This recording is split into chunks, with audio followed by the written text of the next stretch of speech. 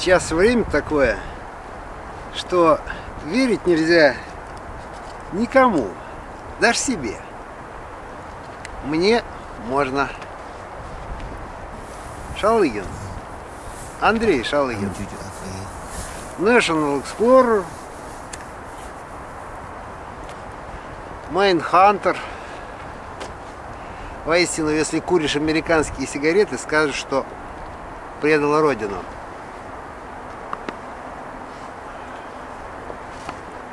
И JX99F.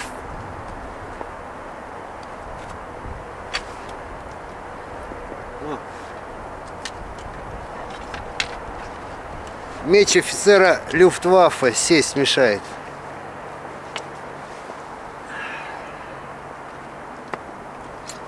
Но сейчас демонстрация символики запрещена. Это издание 1937 года. Ну, сейчас примерно то же самое. А что сейчас? Кортик Андрея Первозванного. Найдите разницу.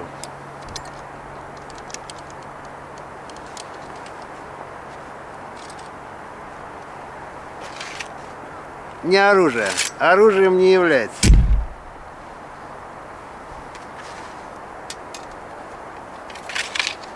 Антиквариат.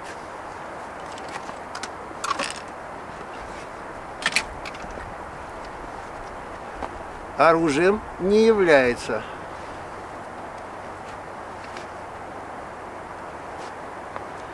С этого года разрешено в качестве исключительного порядка регистрации. А кто это придумал?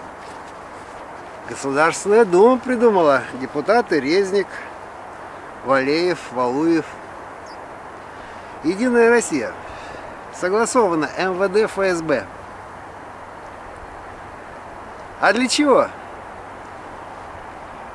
Сертификация порохи по ГОСТу на холодное оружие, кухонные ножи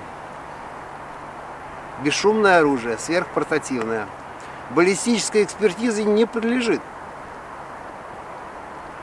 Не оставляет, как огнестрел, на пуле нареза каналов ствола и характерного удара, соответственно, ударника.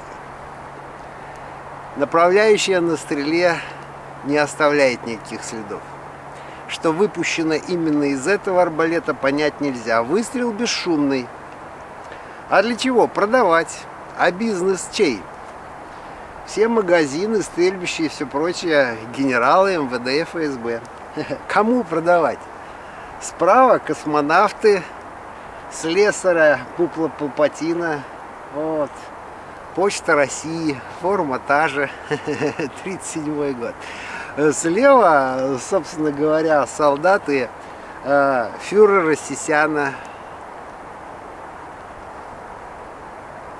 А нам что? Не оружие. Так, девочки, значит, что мы сейчас сделаем? Я заморозил арбалет. а, еще раз, для тех, кто в танке и огнестрельщик. А, это холодный ствол стреляет хуже, да? Горячий ствол стреляет как положено. Поэтому один выстрел, если вы стреляете да, куда-то по цели, вы там на разогрев делаете, ну или два, или три, в зависимости от качества ствола. Вот. А дальше уже пошло по накатанной. Да? А у арбалетов, у метательного оружия, особенно при разнице температур большой, э, есть большой разброс холодное метательное оружие всегда стреляет быстрее. Почему? Потому что скорость вылета стрелы напрямую зависит от усилия на плечах э, и от взаимодействия филаментов внутри гибкого элемента. Да? А, это то, что внутри карбоновой нити там, да, и компаунд находится во взаимодействии. Да? Оно слоями там все располагается и друг с другом как-то взаимодействует. Да? А, соответственно, на очень низких температурах это становится хрупким, но очень жестким. Вот. На высоких температурах это становится мягким, пластичным, гибким, да, скорость падает, усилие, соответственно, тоже. Да? А, поэтому я вам БЭР Метив 6 показывал, что он может стрелять 400 FPS на морозе минус 25. Да? Сейчас у нас, к сожалению, а, особых отрицательных температур нет. Вот. Ну, как-то, как-то, как-то мне э, э, удалось ночью это поморозить, вот, да, это самое соответствующим образом, поэтому холодный арбалет у меня есть. Я с самого начала буду, как всегда, качать не жопу, как фитоняшки, да, а голову. Вот, но жопа при этом у меня будет в мыле. Значит, мне придется побегать. Да? А, пока э, арбалет в тепле, в комнатной температуре, да, плюс 23 градуса, будет нагреваться по мере того, как я его буду э, стрелять, отстрелять, мне придется его очень быстро взводить. При этом э, по мере нагрева скорость его будет падать. Да? по мере того, как он будет приходить в температуру плюс 23 помещения. Да? А, плюс э, сами плечи будут работать, блоки, смазка, троса. Это будет разогревать машину, он будет нагреваться выше комнатной температуры. И в какой-то момент его скорость станет не номинальной относительно того, если бы я его вообще не морозил. То есть он разогреется по отношению к базовой температуре помещения. Он станет горячим, теплым на ощупь. От того, что из него постоянно стреляют. Вот. То есть его скорость упадет ниже номинальной.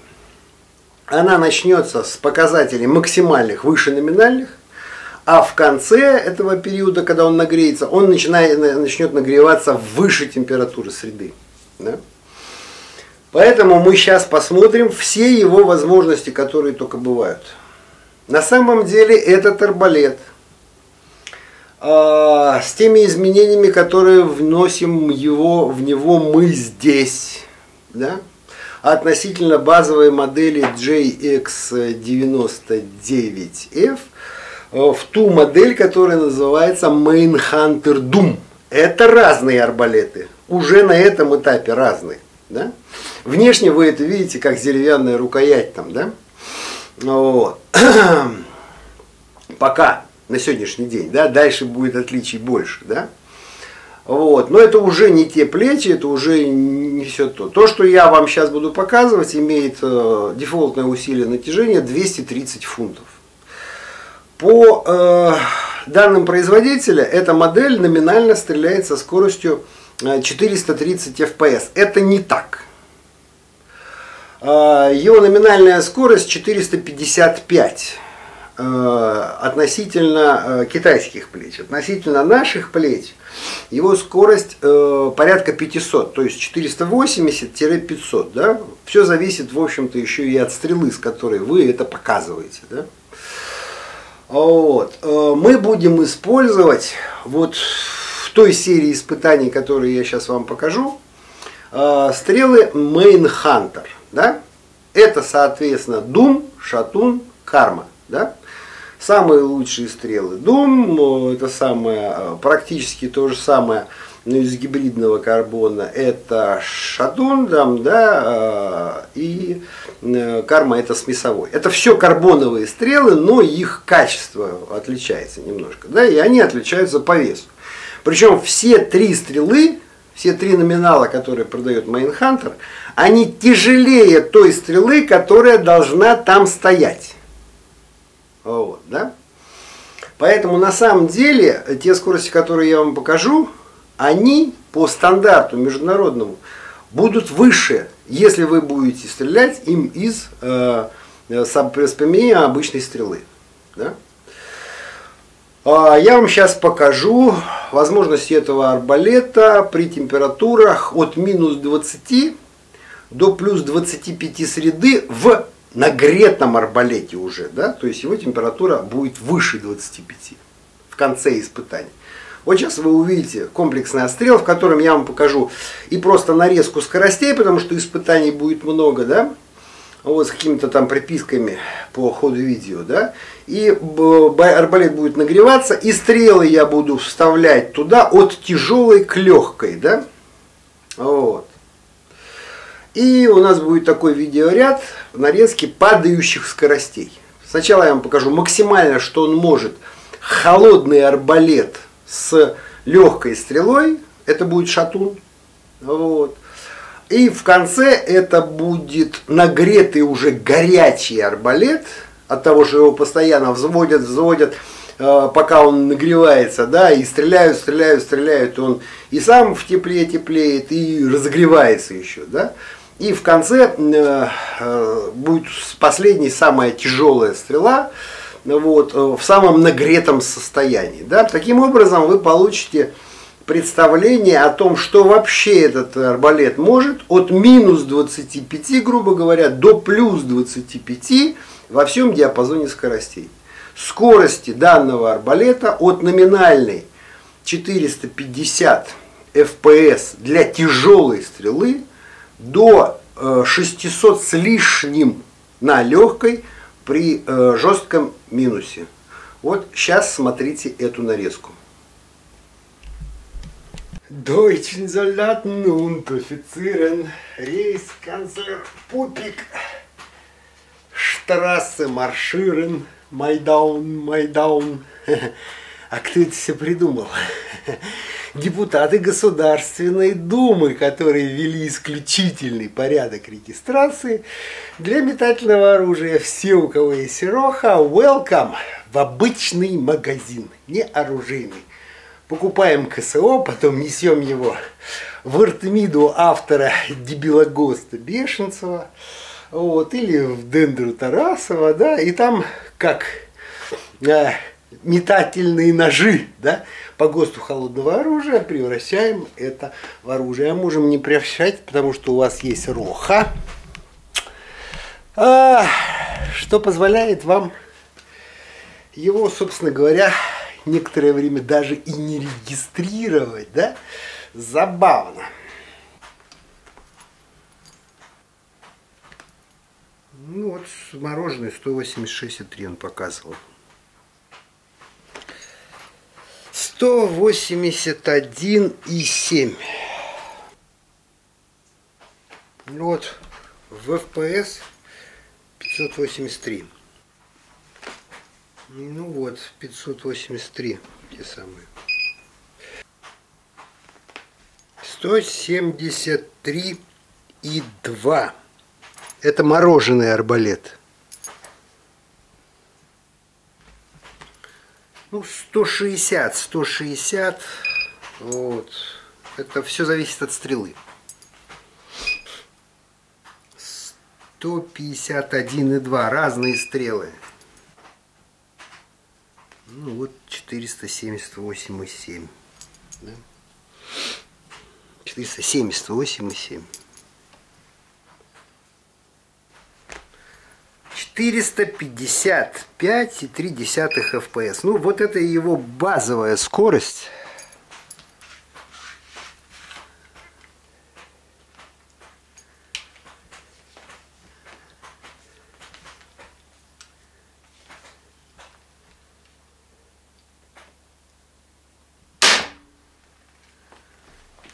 сто тридцать шесть.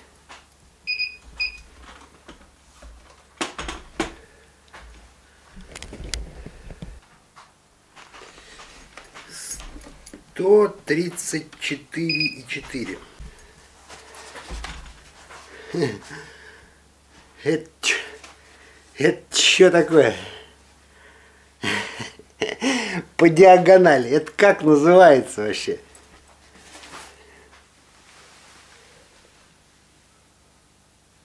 это сумка для арбалетов семейства Дум. Для всех арбалетов. А, первый Дум, Дум 2021, Дум Military, они бывают разных размеров. А, делается она а, в ростовской ИТК. на чем сижу, то и имею, да? Вся страна практически лагерь. Практически 37 год. Это что, НКВД? Другого у нас нет. А, не зря э, календарь на 2021 год, э, он одинаков э, с календарем на 37 год, да? Мы вспоминаем про меч 37 года Люфтваффе, да, и Гортик 21 года Андрея Первозванного, да, но сравнивать запрещено. Вы так и знаете, что скоро будет запрещено вообще сравнивать роль Германии и СССР официально. А если вы обучались э, в академиях э, СССР э, и Российской Федерации, и там смотрели курс военной истории, да, то вы должны знать, что там есть отдельные главы, которые так и называются – роль фашистской Германии, роль СССР во Второй мировой войне. И это официальные э, главы для изучения, и такие вопросы прямо таки есть в билетах Советской Армии и в билетах Российской Федерации. Но так как у нас пожарный э, не обучался в академиях, он сразу из лейтенанта пожарника стал э, генералом, блин, Министерства обороны, а слесарь из охранников стал там чуть ли не маршалом Росгвардии, ну, как и все остальные чиновники Пупина, э, соответственно, и Нарушкин и так далее, да, ну, люди с улицы, да, то они в академиях не обучались. И поэтому они билетов для сдачи, которые обязательны для того присвоения генеральского звания, они даже не знают. И теперь их так и запретили. Образование так и запрещено. Но теперь мы, собственно говоря, вернемся к труду заключенных. А, это очень хорошие сумки, и, собственно говоря, сумки эти, они модульные. Во-первых, это рюкзак. Во-вторых, это таки кейс музыкантов Пригожина. Практически балалайка. да? При этом здесь не написано, что арбалет, боу там и все остальное прочее, что, в общем-то, э, выгодно отличает эту продукцию, которая вот в таком виде, она э, практически внешне не идентифицируется достаточно э, тупым персоналом, который у нас в четыре с половиной раза по численности превышает численность армии. Да? Вот. И поэтому это достаточно спокойно воспринимается э, в городе где-то. Да? Э, ну, это рюкзак, при этом регулируемый, естественно, у него по стромке. И здесь очень интересное э, решение вот этих хвостов, которые во всех молли замках, они достаточно плохо работают. Ну, во-первых, это сразу и фиксатор, да, то есть вот можно подмотать и регулировку э, сделать вот этой штукой. И здесь очень простое, значит, соответственно, снятие ее и зажатие вот свободной постромки. Ее можно регулировать, и потом эти хвосты не болтаются. То есть их в любой момент можно специальными вот здесь резинками зафиксировать в нужном положении, для того, чтобы это вот выглядело вот такой вот пуклей красивой. Да? А, сумку можно носить за верх прикладом вниз, не боясь ударить. За бок она напоминает, значит, соответственно, кейсы, которые использовали наемники-вагнеровцы. Вот. Э, и, соответственно, не воспринимается как арбалет внешне. Здесь э, поднеопрененный, соответственно, места для того, чтобы скрыть выступающие части арбалета, то есть это внутренняя часть, сюда уходит прицел, он защищен, да, то есть э, не надо перенастраивать арбалет, э, внутри он закрепляется здесь липучками, здесь э, натяжители и прочие там фиговины для арбалета могут укладываться, включая бродхеды, и здесь есть отъемная часть, под которую можно ставить и скатку какую-то, да, вот, допустим, коврик, на котором вы будете ложиться, да, то есть это вполне тактический какой-то вариант. И вообще, в принципе, этот сегмент, он, да, он может отсюда сниматься, удаляться, дополняться. Вот. То есть э, кейс для стрел, он вложенный. Ну и имеет не только липучку, но и, собственно говоря, ручку для его переноски. Большое открывание, которое позволяет спокойно манипулировать. И туда э, вставляются свободно несколько коробок, ну до трех, э, со стрелами арбалетами. Да? То есть это вполне такая продуманная вещь, вот, которая может фиксироваться по нужной длине, да, и вместе с ковриком для того, чтобы ложиться, вот, пристегиваться и использоваться, в общем-то, э, в таком достаточно тактическом виде, который пригоден э, не только к ношению в качестве рюкзака, но и к ношению такому достаточно, ну, скрытому, скажем так, в городе и удобен в переноске. И с неопренена она здесь по всей толщине полностью и может использоваться как сумочка и так далее. То есть э, здесь все достаточно хорошо продумано. Э, стоимость этой сумки на сегодняшний момент 8700.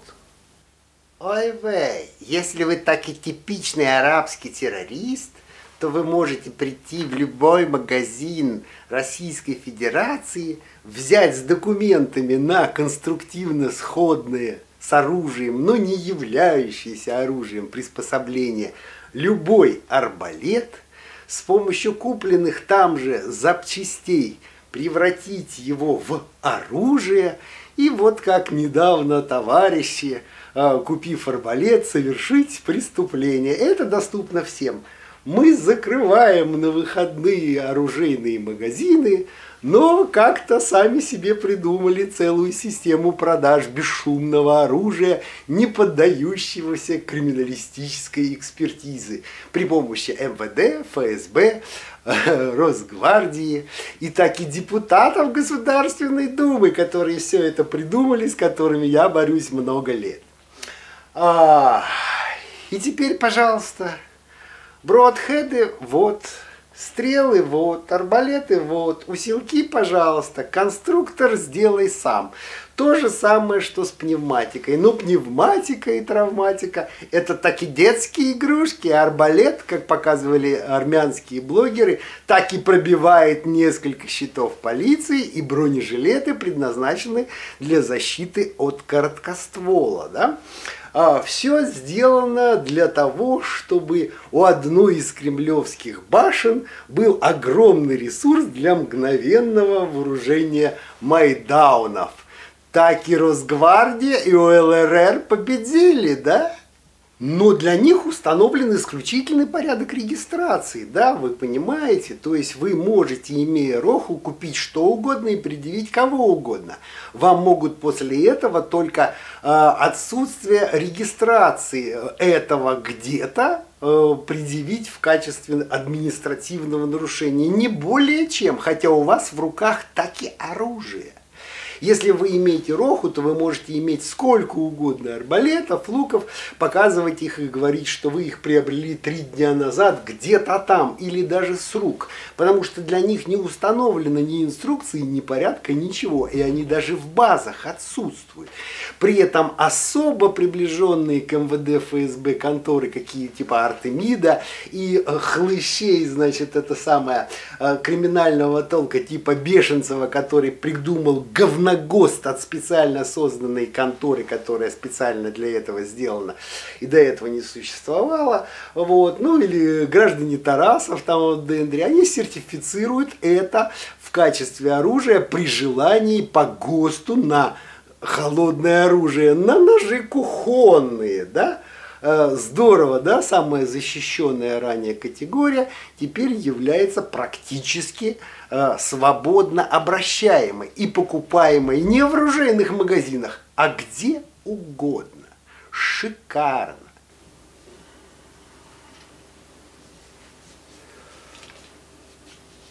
Ну что мы имеем? Мы имеем абсолютно боевой арбалет, сверхпортативный, сверхмощный, сверхкомпактный, с возможностью его еще дальнейшей э, портативизации. Да? Э, JX99F в данном случае. Ну, практически э, боевого предназначения машина – которая, безусловно, в принципе является оружием, но формально по законам Российской Федерации и тому порядку, который он сегодня установлен, она может быть приобретена в любом арчере магазине. Ну, естественно, эта продукция э, поставляется и с последующими модернизациями через Mainhunter, то есть это Mainhunter и его дилеры. Да? Значит, э, дело в том, что деактивация этого приспособления – даже если оно в полнофунтажном исполнении, то есть максимальное на сегодняшний день 230 фунтов, да, а она производится путем перерезания тетивы. После этого баллистическая экспертиза для этого приспособления становится невозможной. Да? Крим-экспертиза вообще не имеет права а, производить какие-либо действия с полученным на экспертизу приспособлением. Да? И после того, как здесь обрезана тетива, э, изначальное усилие натяжения для него установить становится невозможным. Всего э, вот таких моделей э, этого типа в линейке JX99 4 штуки. Там, где буква F идет после цифры 99, это приспособление с обратными плечами, вот как это. Если после цифры 99 буквы F нет, то это арбалет с прямыми плечами. То есть та же самая колодка, развернутая назад, вот, и плечи идут в классическом варианте. Эти вещи я вам покупать не рекомендую. Дело в том, что у них значительно ниже скорость, значительно ниже ПАО строк длина э, вытяга тетивы, поэтому у них меньше скорость при том же усилии, меньше точность, потому что разгонный участок, соответственно, э, короче. А, вторая буква, которая идет или не идет после этого наименования, это либо пустое место, либо буква А. Если стоит буква А, то Г-образного приклада нет. И задняя часть, вот эта, она намного короче. Здесь идет телескопический обычный стандартный приклад. Вот. И, допустим, если модель э, JX99FA, то вместо этого приклада здесь будет короче задняя часть, не будет вот здесь вот вивера, и здесь идет телескопический приклад, который можно снять.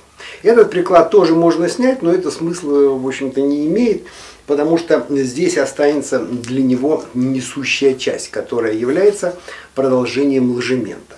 А у моделей А в конце, если буква стоит, значит, все это дело короче, да, то есть они более портативны, да. Но вот на таком прикладе легко устанавливается любая лебедка, а к этому арбалету есть собственная лебедка, помимо той, что я вам показывал в фильме э, по Кратосу, но сейчас мы ее не показываем, как и не показываем полный фарш для этого арбалета.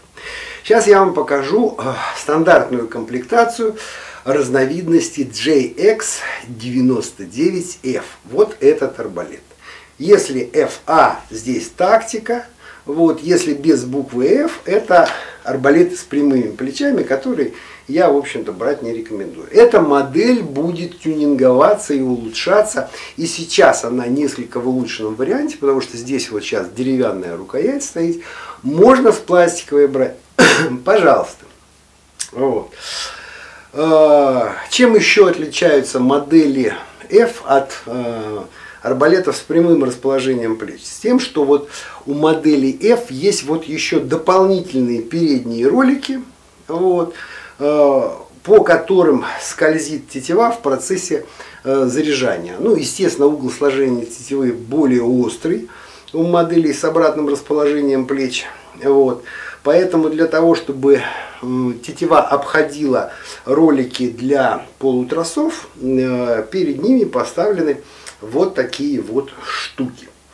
А, в отличие от раввинов, Здесь э, фиксированное спускопредохранительное устройство, что гораздо лучше, потому что э, натяжителем и лебедкой у раввинов является все СПУ, что значительно снижает и, соответственно, точность устройства, и его возможности по заряжанию, и по эксплуатации, и потом это все расхлябывается. И то, что должно стоять постоянно с точностью до микрона, у них ездит, естественно, постепенно раздалбываясь. То есть раввины хуже этих арбалетов. На самом деле этому арбалету уже много лет, да, порядка двух лет мы, собственно говоря, уже с Джангсингом эту модель в практически окончательном виде как-то дорабатываем, да, вот, и стреляла она в качестве прототипа уже два года назад, вот, но э, сейчас он находится в, в каком-то таком виде, который уже можно предложить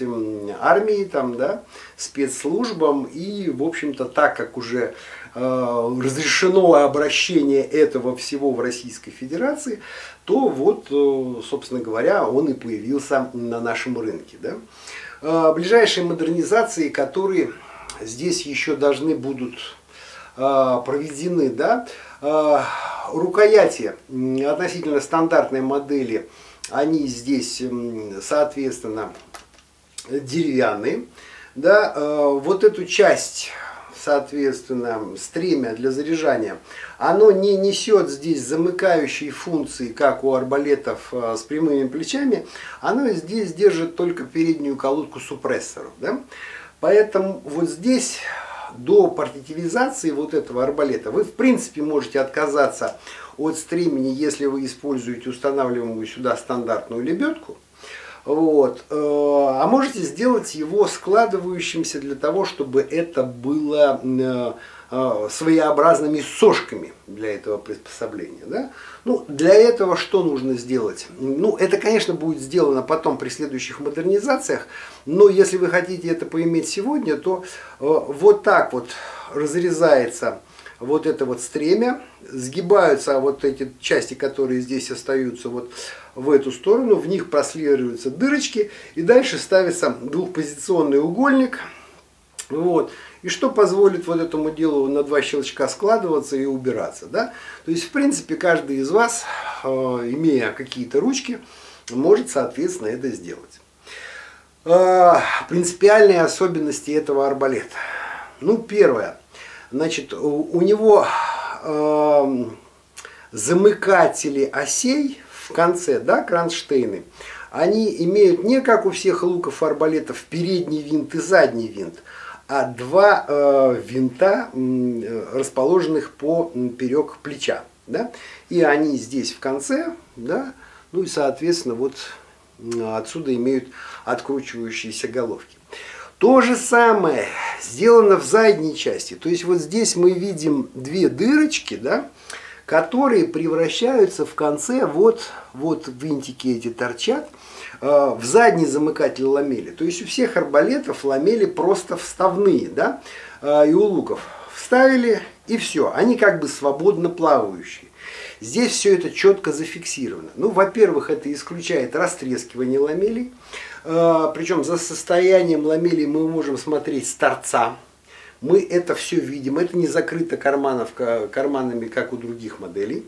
Здесь мы все это видим состояние ламели. Да, всегда можем проконтролировать.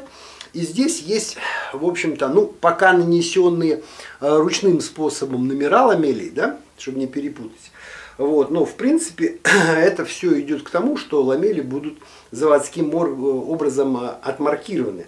Они сейчас, ну, они сейчас надписаны, а не отштампованы. Да? Вот. Это Гордон композит с планки. Вот, э, поэтому каждое плечо имеет фиксаторы двухвинтовые спереди и сзади. Это исключает какую-либо ездотню как по вертикали, как раньше было у думов, э, стояли плечи елочкой, и сейчас до сих пор у многих луков арбалетов так. Здесь абсолютная параллельность и фиксация, она, соответственно, обеспечивается четырьмя винтами для каждой из ламелей. А, полутроса. Почему здесь два полутроса? Потому что э, в стандартных думах с полутросами 20-21, да, и в других арбалетах с полутросами, Э, один полутрос он с одной стороны блока заходит, поэтому он в эту сторону э, осуществляет определенный перегиб. Два троса сделаны для того, чтобы ламели ходили абсолютно синхронно и в процессе срабатывания у блока не было бы никаких перекосов. А, то, что касается, в принципе, еще, э, почему это все сделано не сразу к ложементу, а через вот некие такие вот шкивы перепускные, и почему это дальше идет вот сюда э, на корень колодки. Чтобы длина этого полутроса позволяла делать определенную его настройку, то есть подкрутку. Если делать короткие полутроса, вот как у Дума 2021, там негде, собственно говоря, крутить. Если мы даже делаем полоборота веревочки, то регулировка становится существенной. И как бы сделать ее наполовину нельзя. Можно только либо ее переплести, сделав там покороче, подлиннее, там, да, либо как-то подкрутить в какое-то определенное положение. Э, тогда, когда полутрос длинный, мы имеем возможность крутить и на длину этой части, э, каждый там полоборота даже, да, они оказывают очень маленькое влияние, да, и в принципе у нас получается большая возможность для настройки. То есть вот все для чего сделано, вот это вот э, длинные такие полутроса с этим перепускным шкивом. В данном случае используются полутроса с обвивкой вокруг шкива. Вот если вы здесь посмотрите, да, то вы можете видеть, что они делают оборот еще вокруг шкива. То есть, э, как на кораблях вокруг, соответственно, э, соответствующих лебедок троса швартовые они закручиваются для того, чтобы был контакт какой-то и трение, да, они здесь закручиваются. Здесь это сделано для того, чтобы обеспечить этой модели достаточную эксплуатационную жесткость. Если вам нужна некая большая скорость, да, э, срабатывания или большая мягкость заряжания, вы, конечно, можете обойтись и без этого оборота. В данном случае он пока сделан, пока модель проходит скажем так, силовую часть эксплуатационной проверки. Да? Э, хотя она показала себя чрезвычайно хорошо, но до сих пор этот оборот оставлен принципе, он сделан для того, что в процессе срабатывания, так как троса все-таки вытягиваются, да, чтобы этот полутрос не соскальзывал, э, не соскакивал с этого шкива. Если у вас приработанные троса, да, и все нормально, то вы, в принципе, этот оборот можете не делать. Тогда резко уменьшается трение системы, а, арбалет повышает и свою мощность, и скорость срабатывания, и резкость, и увеличивается скорость вылета стрелы. Да? А, хотя куда больше. Я вам показал, что он стреляет 500 и 550 и больше FPS. Это самый быстрый в мире арбалет. Быстрее его никакие тенпоинты не стреляют. При этом тенпоинты существенно дороже, да, и равины. Вот. Так что э, нельзя говорить, что это некий клон равина. Здесь все другое, абсолютно все другое. Да? А, и эксплуатационные качества этого арбалета, они гораздо выше американских. Что здесь еще чрезвычайно интересного? Здесь одинаковые блоки. Не симметричные блоки, а одинаковые блоки. Посмотрите внимательно. Вот здесь э, огон, соответственно, тетивы, э, вот здесь находится, а здесь он находится снизу. Вот здесь вы видите глухой сектор, а здесь вот, собственно говоря, он рельефный, открытый, и видно его коуш. Да? Поэтому здесь не правый и левый блоки, а один блок. Таким образом, число потребных запчастей э, для э, самой, собственно говоря, э, крашевозможной части устройства да, для блоков, оно уменьшено, собственно говоря, до одной единицы до одного блока, который можно поставить и слева, и справа. Здесь увеличена толщина осей по сравнению с думами, которые уже давали 480 FPS. Этот арбалет дает, э, вне зависимости от того, что указано в характеристиках, 550 FPS.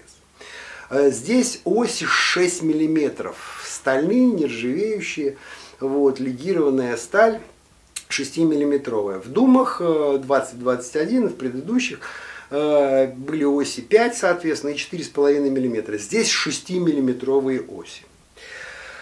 А, направляющая металлическая, в ней сделан специальный 45-градусный э, запил с обеих сторон, для того, чтобы стрела ложилась глубоко в направляющую, и ног стрелы центром своего полулунного нока приходился точно э, под э, тетиву. Поэтому здесь всегда центробой, что увеличивает, соответственно, точность стрельбы из данного приспособления. А, высоту блоков а, здесь можно регулировать так же, как и раньше. Здесь вставные шайбы. Да? Вы, соответственно, высоту тетивы и прижатие ее или не прижатие к направляющей можете регулировать, соответственно, вот, э, шайбами в блоках. Для того, чтобы при этом э, регулировать э, центробой по тетиве, да, ну, можно просто как бы применять стрелы разной толщины, да, диаметра. Да. А, они, соответственно, отличаются, китайские от американских, Carbon Express там, от Истона, там, да, вот, э, от э, китайских стрел, от стрел Mainhunter, можно выбрать то, что вам положено. Но для этого арбалета существуют специальные стрелы, естественно, от Mainhunter, это Doom, Шатун, э, Карма, да, вот, как для луков, так для арбалетов, и они, соответственно, вот, разработаны именно для этого семейства арбалетов. Здесь с демпферной частью э, башмак э, демпферный под э, плечи, который делает для них мягкую постель для гашения вибраций. Здесь, соответственно, у нас цельнолетая, вернее, цельнофрезерованная колодка, здесь отъемная, огромный вивер спереди, на котором в данном случае дефолтно установлено вот такое цевье. Да? Вот. Вариантов сюда веса много, я вам их еще покажу. Вот. А, все направляющие ложемента и, э, соответственно, детали арбалета, они вентилируемые. Срабатывание спуска предохранительного устройства и системы Bullpup, здесь вот видно, соответственно, вон оно там ходит, на просвет, наличие там э, грязи, пыли, там еще чего-то, все это разбирается, чистится. Огромный задний, нижний вивер, да, э, здесь в случае с э, вариантом А, когда тактическая рукоять, вы можете ставить пластиковую рукоять э, от мамбы, да, это универсальные арбалеты по запчастям, да, и сюда с помощью специального адаптера от Mainhunter вы можете приклад ставить раскладывающийся Fab Defense Cobra. То есть вы у стандартной модели э, JX99FA можете убрать сзади, он укороченный немножко, тактический приклад и на пластиковую рукоять поставить с помощью адаптера Mainhunter раскладывающийся приклад Cobra. Тогда это будет супер портативный арбалет. Здесь при этом вы э, э, делаете складывающиеся переднее стремя, и у вас весь арбалет начинает занимать вот такое, соответственно, расстояние, да, которое, ну, там, сравнимо с моими плечами, не более чем. При этом вы имеете полноформатный, сверхкомпактный боевой арбалет со скоростью 500-550 FPS. А, усиленное спуско-предохранительное а, устройство относительно модели Doom 2021 даже. Да, э, здесь уже нет полукруглой вот этой крышки, оно больше по высоте, э, толще по металлу. Э, детали там заменены при сохранении конструктивного устройства на легированную сталь. Там очень мощное, соответственно, э, стальное из нержавейки спускопредохранительное устройство, где даже поворотные части, где-то что, там имеют просто там латунные детали, то есть сталь, латунь, легированные стали, здесь нет никакого черного металла. Да? Здесь теперь не прижим, соответственно, с помощью изогнутой железячки, здесь щеточная прижимная полка, да? мягкое прижимание стрелы, она сменная. Да?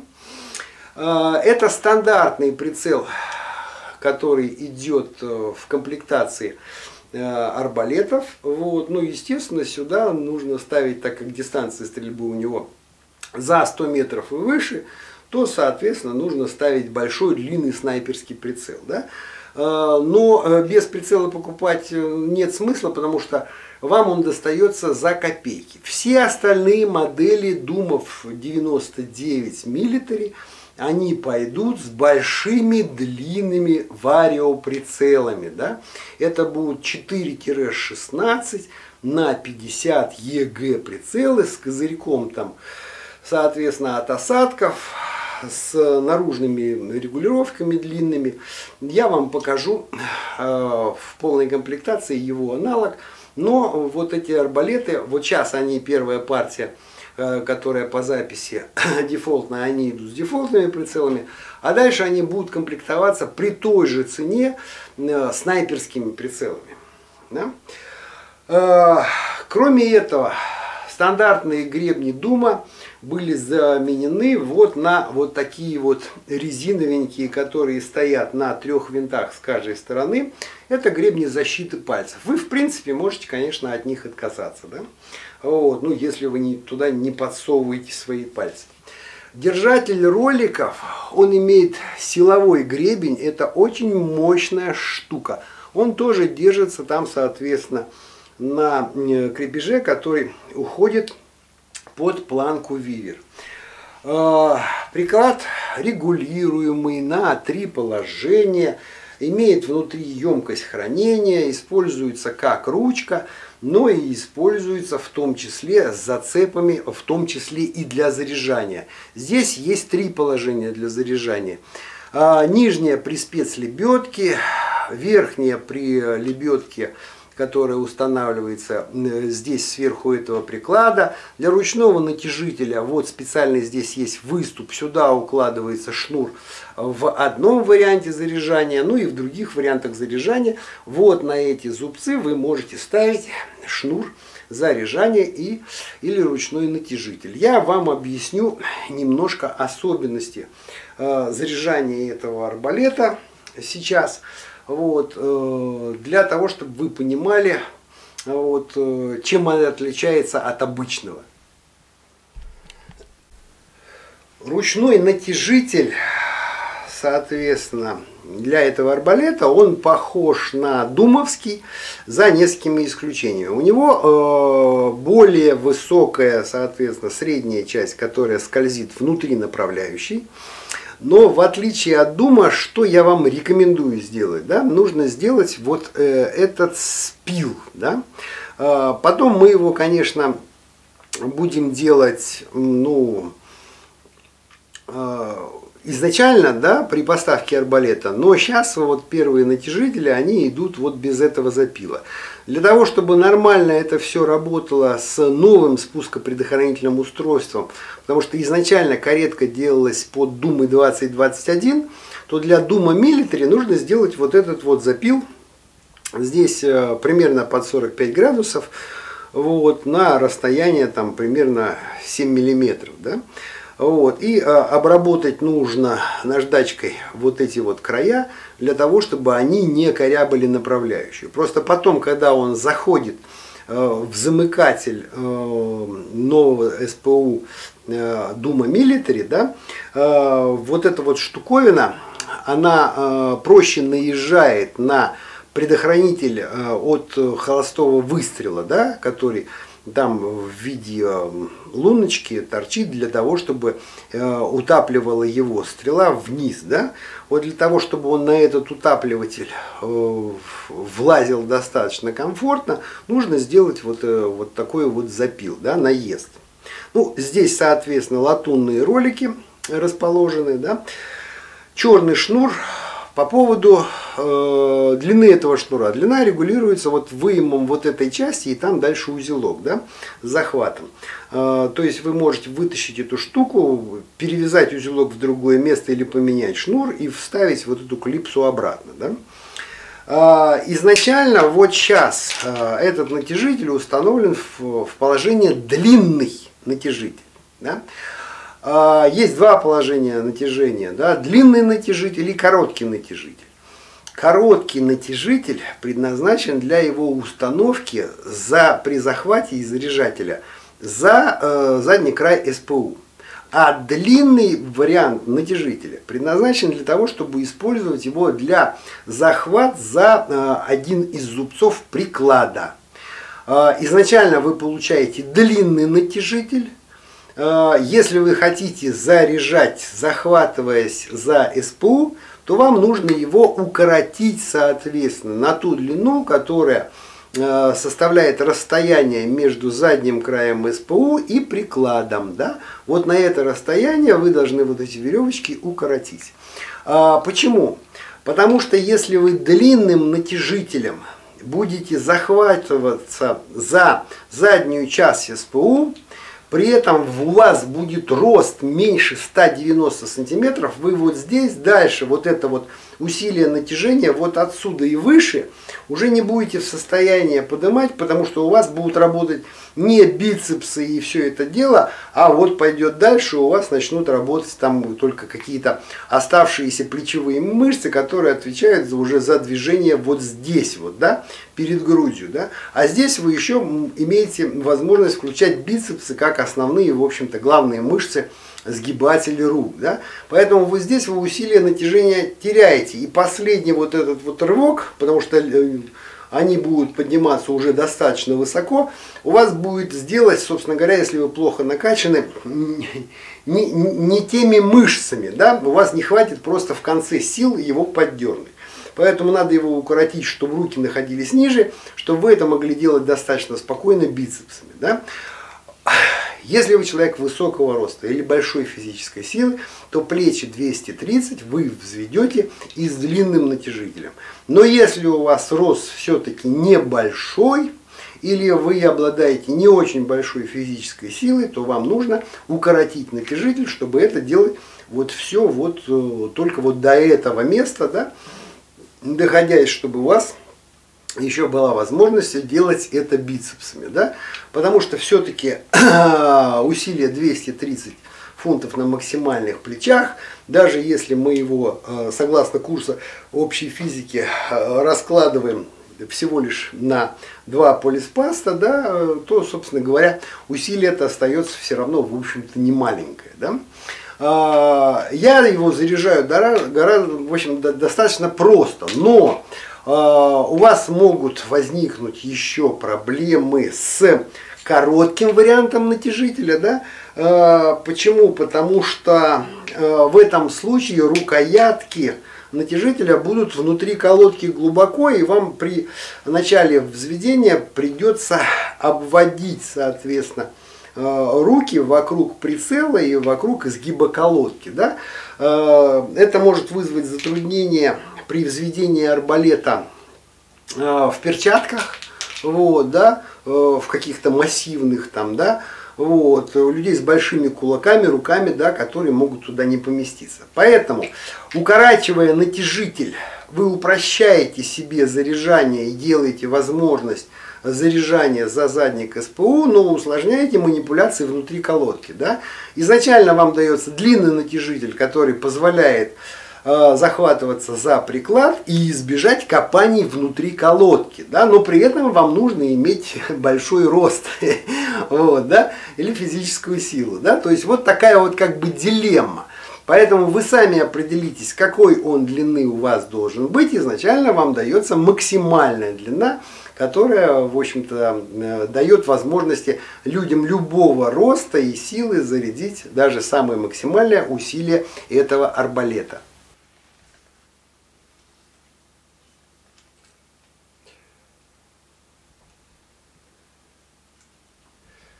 Спокойно, граждане, сначала надо сделать взносы, и лишь потом начнется шик-модерн.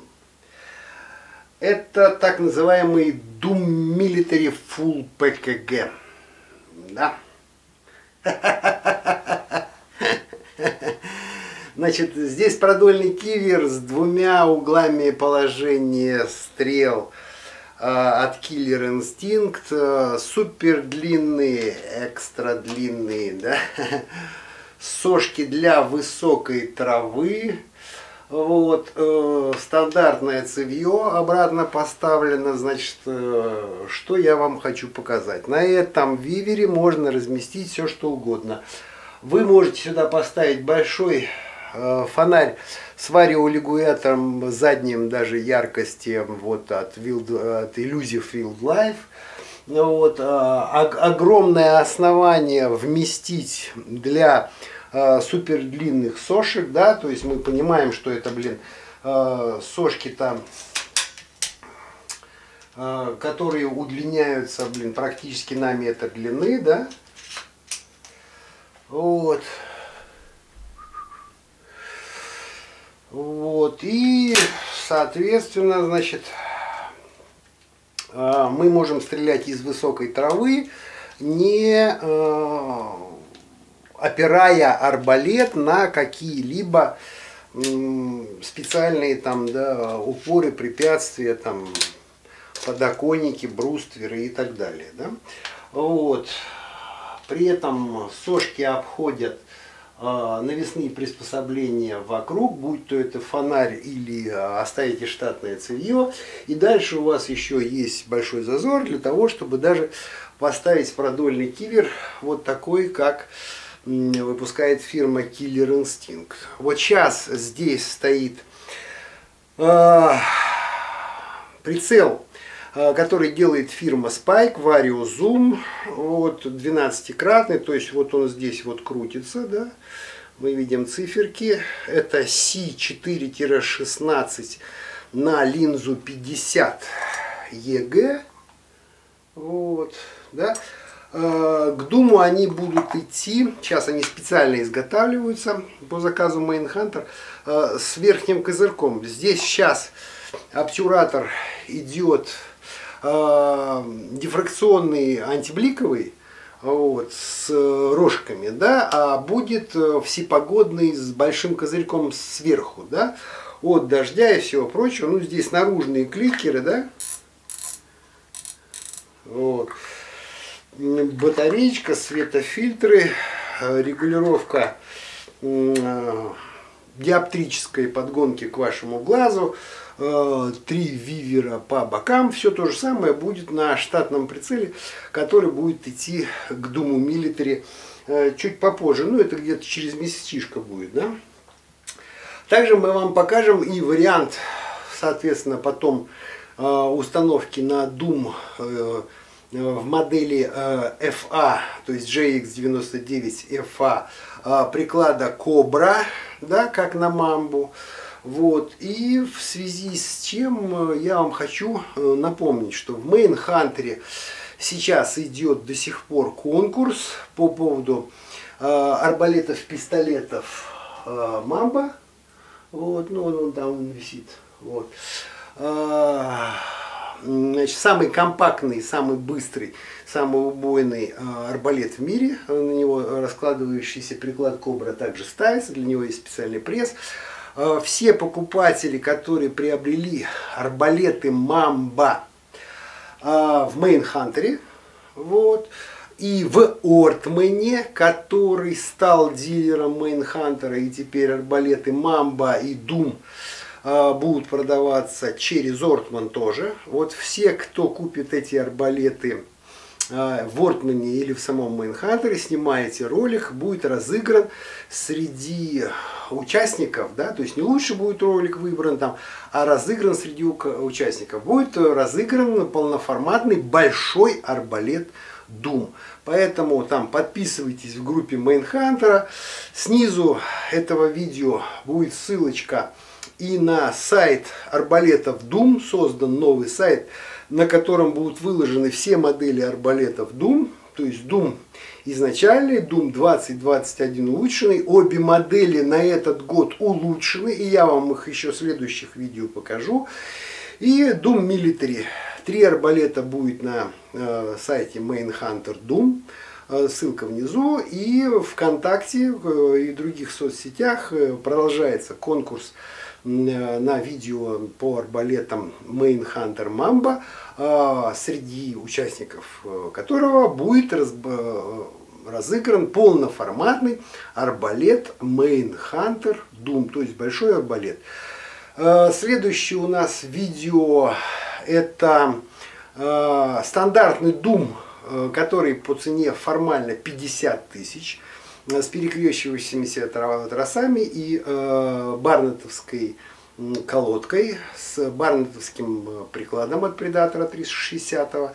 Там заменен пластик, сделаны дополнительные на прикладной части охотничьей, сделаны дополнительные улучшения. Я вам покажу этот арбалет. Он стоит 50 тысяч формально, формально, вот, и он будет разыгрываться именно э, в качестве приза.